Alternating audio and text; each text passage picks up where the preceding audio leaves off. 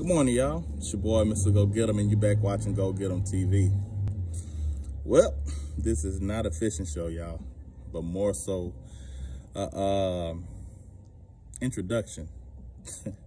I want to give a shout out to the second half of the Go Get 'em team, man. She surprised me with something for my birthday last November, and I'm just getting it on camera getting ready. Well, I've used it a couple times, but I hadn't really recorded too much with it. But anyway, I'm gonna show you what I'm talking about. Shout out to old Garmin.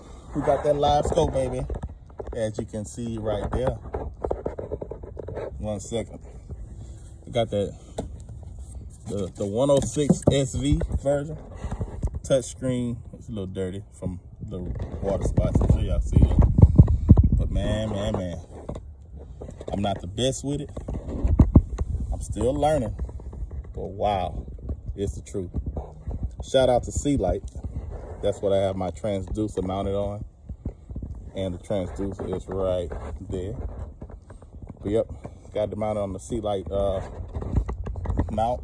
All you gotta do, iron screw here.